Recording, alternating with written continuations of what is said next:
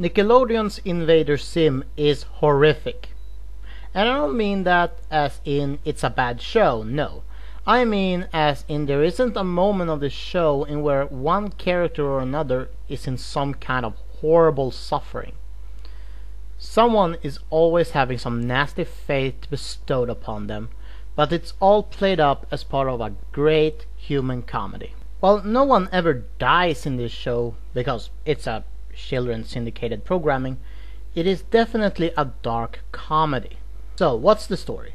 An alien race known as the Irken Empire sends one soldier to every planet to conquer it. The most incompetent invader is Zim, and he is sent to Earth in order to study and conquer the human race. On Earth, he learns about friendship, family, and good morals. nah, nah, I'm, I'm just kidding. He learns that humanity is a stupid and disgusting species that deserves to be enslaved. Throughout the series, Zim has studied human behavior, tried to conquer the world, as well as destroying his arch enemy Dib. The show was created by Jhonen Vasquez, that had already made a name for himself writing the comic book Johnny the Homicidal Maniac although I do wonder whether or not the executives at Nickelodeon had actually read the comics before they actually hired him. Before I can delve into things like story, themes, and animation, I think I should talk about the characters and man, does this show have some awesome, awesome characters. My favorite is Invader Zim himself. Zim uh, probably has the biggest Napoleon complex in the universe. He thinks he can do absolutely anything, and he constantly goes on these megalomaniacal rants, which are really funny. And many times it is his ego that gets in the way of his plans. Zim has shown uh, to be a scientific genius, but he doesn't seem to put that into good use. Often he misses even the most obvious of problems with his own plans. My favorite example of this being when he tried to get rid of an explosion that was moving in slow motion by speeding up the process. Yeah, it's very easy to see the flaw in that thinking. Zim has also shown to be very evil and cruel. While we never directly see him kill anyone, we do see him ruin quite a lot of lives in this show. What makes the character so endearing, at least to me, is how tenacious he is. It doesn't matter how hard a task is, he will still go at it. And it doesn't matter how many times he fails, he will still try. It's like Wile Coyote. You might laugh at Zim's failing, but at the same time you sort of root for him to succeed because he tries so damn hard. Not to mention how much he enjoys his work. In order to melt into the crowds, Zim puts on this horrible human costume that is just uh, a wig and a pair of lenses. Thankfully, most people in the show are complete idiots, so they don't even notice that there's something weird about him. There is, however, one boy that do recognize him, and that's Dib. Thankfully for Zim, Dib is also a paranoid U UFO nut that sees alien activity everywhere, so of course no one believes him. Hey Dib, doesn't this remind you of a fable you might have heard of, written by a Greek philosopher, has something to do with a wolf and a shepherd boy? What was it called again? Throughout the series, Dib tries to expose Zim for the alien he is, but constantly fails because God hates him. Everything bad seems to happen to Dib. One of the best aspects of this series is how it makes us root for both Zim and Dib. While saving the world is a big part of why he tries to expose Zim, the main reason is that he wants to prove himself not to be crazy and that he is a force to be reckoned with, but he is only faced with humiliation. Zim and Dib are actually very similar in many ways, and in another life they would have become friends. But not here. Here they are bitter enemies and they love to torment each other. Zim's companion is a little dysfunctional robot named GIR. GIR is hyperactive, speaks nothing but nonsense, and is a total retard. And he is just so likable. He is just so cute, innocent, and funny that you can't help but love him. Dib doesn't have a companion per se, but he does have a sister named Gaz.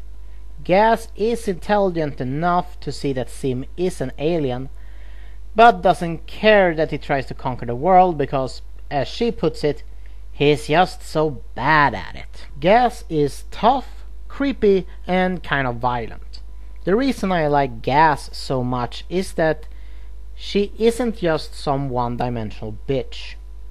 Sure, she can be mean, but she is not inconsiderate. She has standards. She is never mean to people because she is selfish or acts out. She is mean because they are annoying retards. Plus, remember in my Ruby Gloom review where I said how annoying stereotypical goths are? Well, I don't consider Gaz a stereotype at all. Her biggest pleasures in life are pizza and especially video games. Gaz was actually voiced by Melissa Fahn, that you might remember as Ed from Cowboy Bebop.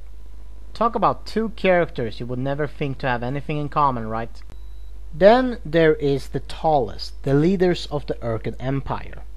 While Zim believes they sent him to Earth to conquer the human race, they really sent him there just to get rid of him.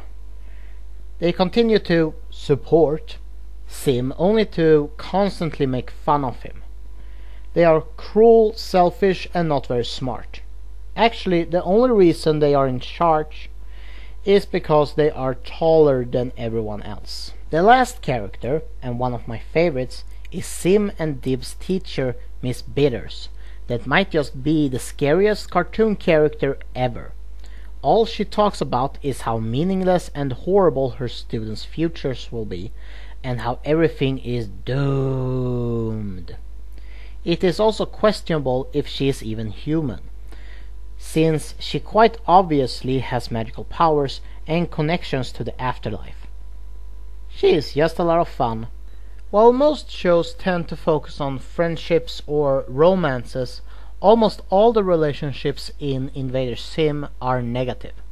Zim and Dib are arch enemies, Gaz hates her brother, and while Zim uh, loves his leaders, they loathe him. The only tender relationship I could find in the series is that between Gaz and her dad, and even there, he's kind of neglectful. Yet the characters never come off as unlikable to me, and as the Looney Tunes noted, a lot of great comedy derives from conflict. Almost all the humor in this show stems from suffering and surrealism.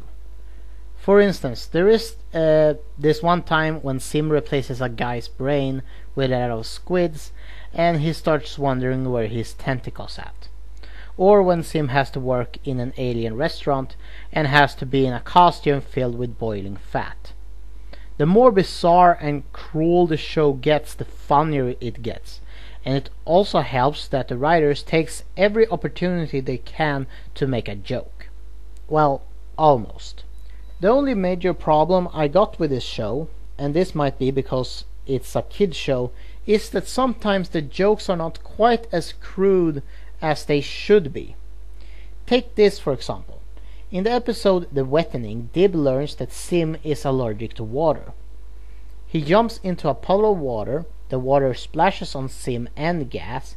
Zim screams in pain, and Gaz says, I will destroy you. And nothing happens. Wouldn't it be funnier if Gaz threw Dib in front of a truck or something?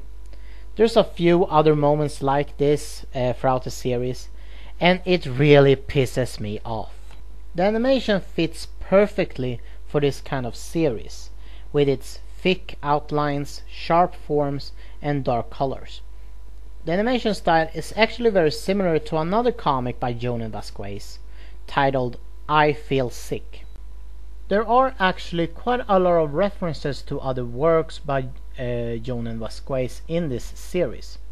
Jhonen's self-portrait appears a few times and the sun actually have a face, and that face is the face of Happy Noodle Boy, a character from Johnny the Homicidal Maniac. The show ran for three seasons, but was unfortunately cancelled due to low ratings. It was sad that the show ended when it did, because unlike the first two seasons, the third actually had a running story. Another invader named Tak tries to steal Earth from Zim. After being foiled, she leaves behind a spaceship that Dib uses in his battle against Zim. I think if the show was allowed to continue, we should have seen uh, a Tak return as well as finding out more about the secret organization the Swollen Eyeball.